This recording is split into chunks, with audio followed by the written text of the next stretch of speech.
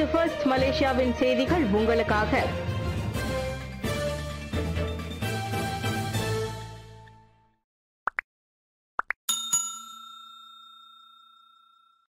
பெரும்பான்மை நிரூபிக்கப்படும் வரை முஹிதின் பிரதமராக நீடிப்பார் சட்டத்துறை தலைவர். நாடாளுமன்றத்தில் தமது பெரும்பான்மையை நிரூபிக்கும் வரை முஹிதின் யாசின் தொடர்ந்து பிரதமராக இருப்பார் என சட்டத்துறை தலைவர் இட்ரூஸ் ஹரோன் நேற்று அறிவித்தார். நாடாளுமன்ற உறுப்பினர்களின் பெரும்பான்மை ஆதரவை முகுதின் இழந்துவிட்டார் என்பதற்கு தெளிவான எந்தவொரு உண்மையான ஆதாரங்களும் அரசாங்கத்திடம் இல்லை என அவர் கூறினார். ஒருவர் நாடாளுமன்ற உறுப்பினர்களின் பெரும்பான்மை ஆதரவை கொண்டிருக்கிறாரா இல்லையா என்பதை நாடாளுமன்ற உறுப்பினர்கள்தான் நிரூபிக்க வேண்டும் என்பதை கூட்டரசு அரசியலமைப்பு சட்டத்தின் நாற்பத்தி மூன்றாவது பிரிவின் உட்பிரிவு இரண்டு மற்றும் ஏ கூறுகிறதே தவிர அரசியல் கட்சிகள் அல்லது தலைவர்களின் அறிக்கைகளால் அல்ல என சட்டத்துறை தலைவர் எட்ரோஸ் ஹருன் சுட்டிக்காட்டினார். பேரரசருடன் சந்திப்பா. பிரதமர் அலுவலகம் மறுப்பு. நேற்று மாலை பின் நேரத்தில் பேரரசர் சுல்தான் அப்துல்லாவை பிரதமர் முஹிதின் யாசின் சந்திப்பார் என வெளியான தகவல்களை பிரதமர் அலுவலகம் மறுத்தது. பெரிகத்தான் அரசாங்கம் தற்பொழுது எதிர்நோக்கியுள்ள நெருக்கடி குறித்து பேரரசரை சந்திப்பதற்கு நேற்று மாலை பின்னேரம் முஹிதின் இஸ்தான நிகரா செல்வார் என்ற தகவலும் கசிந்தன. பிரதமர் முஹிதின் யாசனுக்கான தனது ஆதரவை அம்னோ உச்சமன்றம் மீட்டுக் கொண்டதை தொடர்ந்து அவர் பேரரசரை சந்திப்பார் என இணையதள பதிவேடுகளும் செய்தி வெளியிட்டிருந்தன. கோவிட் மரணம் முதல் முறையாக நூற்றி முப்பத்தி ஐந்தாக உயர்வு. நாட்டில் கோவிட் தொற்று பரவ தொடங்கியதில் இருந்து முதல் முறையாக அந்த உயிர்கொல்லி நோயினால் நேற்று நூற்றி முப்பத்தி ஐந்து பேர் உயிரிழந்தனர். அதோடு கோவிட் தொற்றுக்கு உள்ளானவர்களின் எண்ணிக்கையும் தற்பொழுது எட்டு லட்சத்தை கடந்து எட்டு லட்சத்தி எட்டாயிரத்தி அறுநூற்றி ஐம்பத்தி எட்டாக உயர்ந்துள்ளது. கடந்த மே மாதம் ஒன்பதாயிரத்தி இருபது பேர் தொற்றுக்கு உள்ளாகினர். அதன் பிறகு இரண்டாவது முறையாக நேற்று எட்டாயிரத்தி எட்நூத்தி அறுபத்தி எட்டு பேர் கோவிட் தொற்றுக்கு உள்ளாகியுள்ளனர் என சுகாதார தலைமை இயக்குநர் டாக்டர் நூர் ஹிஷாம் அப்துல்லா தெரிவித்தார். தற்போது மருத்துவமனையில் எழுபத்தி ஏழாயிரத்தி இருநூற்றி எழுபத்தி ஐந்து பேர் சிகிச்சை பெற்று வருகின்றனர். தீவிர சிகிச்சை பிரிவில் தொள்ளாயிரத்தி ஐம்பத்தி இரண்டு பேர் சிகிச்சை பெற்று வருகின்றனர். செயற்கை சுவாச கருவியின் உதவியோடு நானூற்றி நாற்பத்தி ஐந்து பேருக்கு சிகிச்சை வழங்கப்பட்டு வருகிறது. மரணம் அடைந்தவர்களின் எண்ணிக்கையும் தற்பொழுது ஆறாயிரத்தி மிஞ்சும் அளவுக்கு. இந்நிற்றோடு இதுவரை ஐந்தாயிரத்தி தொள்ளாயிரத்தி மூன்று பேர் உயிரிழந்துள்ளனர். ஆறு மாதங்களுக்கு மேல் போகாத இடைக்கால அரசாங்கம் அமைக்க வேண்டும். Najib Razak. ஆறு மாத காலத்திற்கு மேற்போகாத இடைக்கால அரசாங்கம் ஒன்று அமைக்கப்பட வேண்டும் என முன்னாள் பிரதமர் டத்தோஸ்ரீ நஜீப் ரசாக் கேட்டுக்கொண்டார் மக்களின் ஆதரவு பெற்ற அரசாங்கமாக இடைக்கால அரசாங்கம் இருக்காது என்பதால் பொது தேர்தலுக்கு முன்னதாக கோவிட் தொற்று நெருக்கடியை தீர்ப்பதற்கு மட்டுமே அந்த இடைக்கால அரசாங்கம் செயல்பட வேண்டியுள்ளதாக தமது முகநூலில் நஜீப் பதிவிட்டுள்ளார். குறுகிய காலத்திற்கான தெளிவான நோக்கத்தை இடைக்கால அரசாங்கம் கொண்டிருக்க வேண்டும். மக்களின் தேர்வற்ற குறுகிய பெரும்பான்மையை கொண்ட பின்வாசல் கதவை கொண்ட அரசாங்கமாக இடைக்கால அரசாங்கம் இருப்பதால் மூன்றில் ஆறு மாதங்களுக்கு மேல் அது நீடிக்கக்கூடாது என்பதையும் நஜீப் வலியுறுத்தினார். திட்டி தீர்த்த மக்கள் சுகாதார அமைச்சு கருத்து பதிவை மூடியது. ஒன்பதாயிரத்தை நெருங்கிய நேற்றைய கோவிட் தொற்று எண்ணிக்கையால் ஆத்திரம் கொண்ட பொதுமக்கள் சுகாதார அமைச்சின் சமூக வலைதளங்களை தங்களின் குறை கூறலால் தாக்கல் செய்தனர். மலேசியாவில் மக்கள் நீண்ட காலமாக வீட்டில் அடைப்பட்டாலும் கோவிட் தொற்றுகள் உயர்ந்து கொண்டுதான் போகின்றது என மக்கள் தங்களது ஆதங்கத்தை அங்கு கொட்டி தீர்த்தனர். குறை கூறல்கள் எல்லை மீறியதால் சுகாதார அமைச்சு அதன் கருத்து பதிவுக்கான பகுதியை மூடச் செய்தது.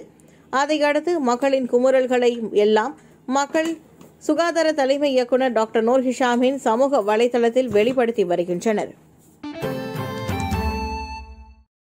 ஜொகூர் மாநிலத்தின் இந்திய சமூகத்துக்கான சிறப்பு ஒதுக்கீடு உதவிக்கு விண்ணப்பிக்கலாம். ஜொகூர் மாநிலத்தின் இரண்டாயிரத்தி இருபத்தி ஒன்றாம் ஆண்டின் இந்திய சமூகத்துக்கான சிறப்பு நிதி ஒதுக்கீட்டின் கீழ் உதவி பெற விரும்புபவர்கள் இம்மாதம் ஜூலை பதினைந்தாம் தேதி வரை அதற்கான விண்ணப்பத்தை செய்யலாம். அந்த ஒதுக்கீட்டின் கீழ் தகுதியானவர்கள் கல்வி சமூக நல உதவிகளை பெற முடியும். தொழில் முனைவோரும் உதவிக்கு விண்ணப்பிக்கலாம். கிளான் கம்போங் ஜாவாவில் பனிரெண்டு லட்சம் ரிங்கிட் மதுபானங்கள் பறிமுதல். எட்டு பேர் கைது. இரண்டாயிரத்தி நூற்றி நாற்பது பெட்டிகளை கொண்ட மது பானங்களுடன் பதினாறு லட்சம் ரிங்கெட் மதிப்புடைய வாகனங்களையும் பொது பாதுகாப்பு படையின் மத்திய உளவு கிளையின் அதிகாரிகள் பறிமுதல் செய்தனர். கிளான் கம்போங் ஜாவாவுக்கு அருகே கம்போங் சுங்கை கண்டியில் உள்ள ஜாலான் செலத்தேவனில் ஒரு லோட் நிலப்பகுதியில் மதுபானங்கள் ஏற்றியிருந்த லோரி கண்டுபிடிக்கப்பட்டது. அதோடு பன்னிரண்டு லட்சம் ரிங்கிட் மதிப்புடைய பல்வேறு வகையான மதுவும் பறிமுதல் செய்யப்பட்டதாக பொது பாதுகாப்பு படையின் அதிகாரி உயர் துணை கமிஷனர் முகமது அப்துல் ஹலீம் கூறினார். இந்த நடவடிக்கையின் போது உள்நாட்டை சேர்ந்த மூன்று சந்தேக நபர்களுடன் வெளிநாடுகளை சேர்ந்த ஐந்து ஆடவர்களும் கைது செய்யப்பட்டனர். பத்து டன் லோரியுடன் மூன்று டன்கள் கொண்ட இரு லோரிகள் வேன் மற்றும் ஒரு காரும் பறிமுதல் செய்யப்பட்டது. எட்டாயிரத்திற்கும் அதிகமான கோவிட் தொற்று. சிலாங்கூரில் நான்காயிரத்திற்கும் மேற்பட்டோர் பாதிப்பு. கடந்த சில தினங்களாக ஏழாயிரத்தை தாண்டிய கோவிட் தொற்று சம்பவங்கள் நாட்டில் பதிவாகி வந்த நிலையில் கடந்த இருபத்தி நான்கு மணி நேரத்தில் கோவிட் தொற்றின் பாதிப்பு திடுக்கிடும் அளவிற்கு எட்டாயிரத்தி எட்நூத்தி அறுபத்தி எட்டாக உயர்வு கண்டது. அந்த எண்ணிக்கையில் பெரும்பகுதி தொற்றுகள் அதாவது நான்காயிரத்தி நூற்றி ஐம்பத்தி இரண்டு கோவிட் தொற்றுகள் சிலாங்கூரில் பதிவானதாக சுகாதார தலைமை இயக்குநர் டாக்டர் நூர் ஹிஷாம் அப்துல்லா தெரிவித்தார். அந்த மாநிலத்தை அடுத்து கோலாலம்பூரில் ஆயிரத்தி நூற்றி முப்பத்தி மூன்று பேருக்கும் நெகிரி செம்பிலானில் எட்நூற்றி தொன்னூற்றி ஏழு பேருக்கும் கோவிட் தொற்று உறுதிப்படுத்தப்பட்டது. போலீஸை குத்திய முன்னாள் அழகு ராணி கைது. நேற்று அதிகாலை நேரத்தில் கூட்டரசு பிரதேச நெடுஞ்சாலையில் ஏற்படுத்தப்பட்டிருக்கும் சாலை தடுப்பை மோதியதோடு போலீஸ் அதிகாரியை குத்திய முன்னாள் அழகு ராணி கைது செய்யப்பட்டார். அதிகாலை மணி மூன்றளவில் நிகழ்ந்த அந்த சம்பவத்தின் போது சம்பந்தப்பட்ட இருபத்தி எட்டு வயது மதிக்கத்தக்க பெண் போதையில் இருந்தார் என பட்டரிஞ்சயா மாவட்ட போலீஸ் தலைவர் முகமது ஃபக்ருடின் அப்துல் ஹமீத் தெரிவித்தார். அந்த பெண் விசாரணைக்காக தடுத்து வைக்கப்பட்டுள்ளார்.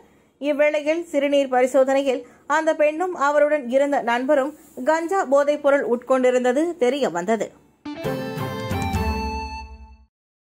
முன்கள பணியாளர்களின் மனதை தொட்ட விசித்திர மனிதர். பினாங்கில் உள்ள யுஎஸ்எம் மலேசிய அறிவியல் பல்கலைக்கழகத்தின் கோவிட் தடுப்பூசி மையத்திற்கு டாக்ஸியில் வந்திறங்கிய ஆடவர் ஒருவர் அங்கிருந்த கூட்டத்தினரின் கவனத்தை பெற்றதோடு மட்டும் அல்லாமல் மக்கள் சிலரின் கேலி சிரிப்புக்கும் ஆளானார். முகக்கவசத்துடன் நெகிழி பையை கொண்டு தலையை முழுமையாக மூடிக்கொண்டிருந்ததால் வயதான அந்த நபர் சிலரின் நகைப்புக்கு ஆளானார். ஆனால் தடுப்பூசி செலுத்திக் கொண்டு திரும்புவதற்கு முன்பாக அந்த ஆடவர் செய்த செயல் அங்குள்ள முன்கள பணியாளர்களை பிரமிக்க வைத்தது. முன்னணி பணியாளர்கள் அயராது பாடுபடுகின்றனர். அவர்களுக்கு மதிய உணவை வாங்கி தாருங்கள் என கூறிய அந்த நல்ல மனிதர் அம்மையத்தின் செயலகத்திடம் குறிப்பிட்ட தொகையில் பணத்தையும் கொடுத்து சென்றுள்ளார். மனதை தொட்ட அந்த நெகிழ்ச்சியான பதிவை யுஎஸ்எம் மலேசிய பல்கலைக்கழகம் அதன் ஃபேஸ்புக் அகப்பக்கத்தில் பகிர்ந்து கொண்டது.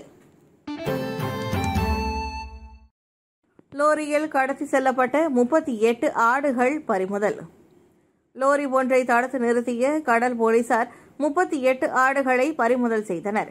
காம்போங் ஜுபாகூரில் கண்காணிப்பு நடவடிக்கையில் ஈடுபட்டிருந்த கடல் போலீசார் விடியற்காலை நான்கு மணி அளவில் லோரி ஒன்று சந்தேகத்துக்குரிய வகையில் வேகமாக சென்றதை தொடர்ந்து அதனை துரத்தி சென்று நிறுத்தினர். போலீசாரை பார்த்ததும் அந்த லோரியின் இயந்திரத்தை நிறுத்தாமலேயே இரண்டு நபர்கள் லோரியில் இருந்து இறங்கி தப்பி ஓடினர். அந்த லோரியை பரிசோதித்த போது அதில் உள்ளே முப்பத்தி எட்டு ஆடுகள் இருந்ததாக மூன்றாவது வட்டார கடல் போலீஸ் கமாண்டன்ட் துணை கமிஷனர் நோர்ஜித் முகமது தெரிவித்தார். சுமார் முப்பது நிமிடம் காத்திருந்தும் அந்த ஆடுகளை தேடி எவரும் வராததால் மேல் நடவடிக்கைக்காக அந்த லோரியும் அதிலிருந்த ஆடுகளும் பறிமுதல் செய்யப்பட்டதாக நோர்சைட் தெரிவித்தார்.